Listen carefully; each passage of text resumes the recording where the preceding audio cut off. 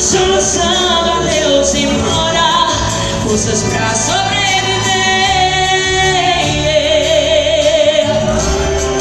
Chegaram-se as lágrimas